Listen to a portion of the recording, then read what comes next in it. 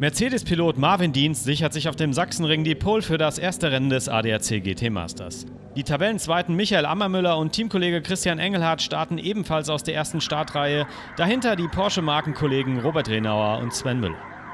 Topstart für den Polesetter für Marvin Dienst. Michael Ammermüller verhungert dagegen außenrum und verliert gleich fünf Positionen. Wir sind noch in der ersten Rennrunde. Philipp Ellis fliegt da etwas ab. Platz 4 ist damit erstmal futsch. Den holt sich der Niederländer Stain Schotthorst im Lamborghini. Die Reihenfolge Marvin Dienst im roten Mercedes vor Robert Renault im Porsche und Luca Stolz, der ebenfalls im Mercedes unterwegs ist.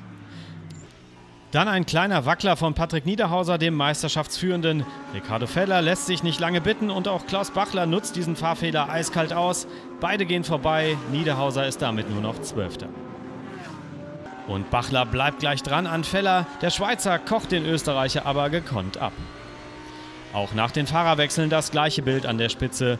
Philipp Frommwieler nun für Marvin Dienst im Cockpit mit 5 Sekunden Vorsprung führen vorne weg. Sven Müller als Ersatz für Robert Renauer im Porsche und Maro Engel für Luca Stolz im Mercedes dahinter auf den Podiumsplätzen.